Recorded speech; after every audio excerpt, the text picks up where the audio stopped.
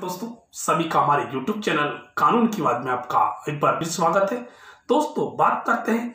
IPC की धारा 307 IPC की धारा 307 अगर लग जाती तो उस व्यक्ति को कितने साल की सजा हो सकती है या आजीवन कारावास भी हो सकती है? लेकिन दोस्तों, आप जान सकते हैं कोई व्यक्ति अगर इस प्रकार का क्राइम करता है तो उसे कितने साल की सजा होती है। लेकिन दोस्तों, मेरा सबसे नम्र निवेदन है, अगर आप अभी तक हमारे चैनल पे प्लीज़ नहीं हो तो हमारे चैनल को सब्सक्राइब कर ले और बेल आइकन को प्रेस कर ले, जिससे आपको नई नई वीडियो की नोटिफिकेशन आपके पास पहुँच सके और सूचनाएँ आपको पास मिल सके। तो बात करते अपने टॉपिक पे बात करते मान लो कोई व्यक्ति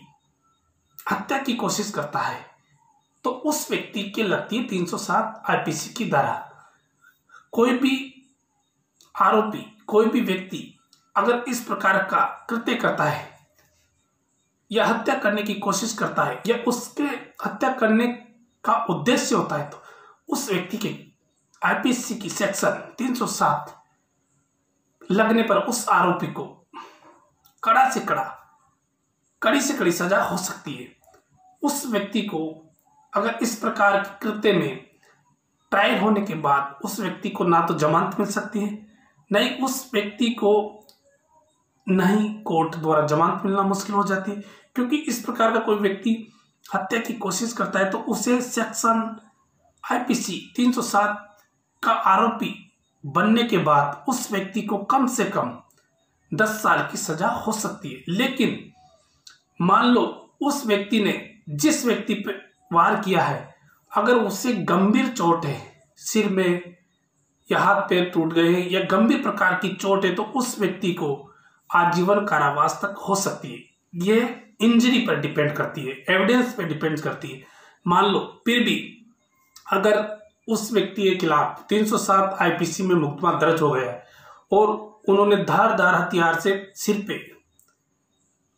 मारी है, उसका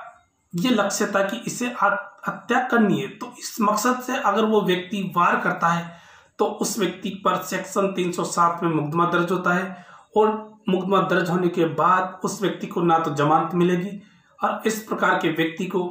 कड़ी से कड़ी सजा का प्रावधान है। सेक्शन 307 में उसे 10 साल की सजा प्लस जुर्माना